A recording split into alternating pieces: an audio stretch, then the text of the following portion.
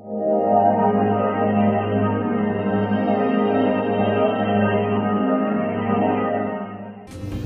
kính chào các bạn, à, tôi tên là Vũ Mạnh Hùng, hiện tại đang công tác tại à, bộ phận kỹ thuật của Ban Quản lý Tòa nhà Mobile Phone.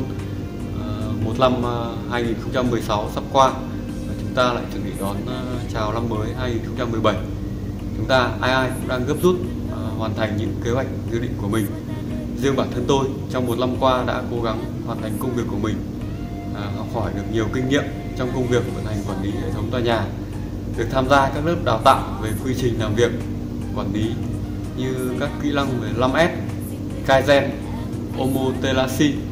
À, tôi thấy những kỹ năng này rất bổ ích cho mỗi cá nhân hay cơ quan đoàn thể. Tôi cũng hy vọng và mong muốn rằng các kỹ năng này được áp dụng rộng rãi và chuyên sâu hơn vào mỗi cá nhân, mỗi thành viên và coi đó là nền tảng để phát triển kỹ năng tính cách của con người trong công việc cũng như trong cuộc sống.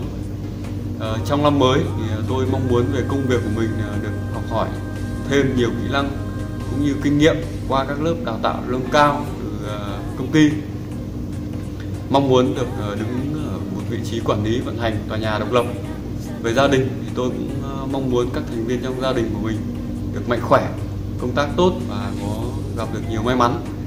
À, đầu năm mới thì tôi cũng xin chúc ban giám đốc mạnh khỏe. À, chúc cho công ty của chúng ta đạt được nhiều hợp đồng mới nhiều công trình mới phát triển mạnh mẽ hơn và bền vững trong tương lai. Xin cảm ơn.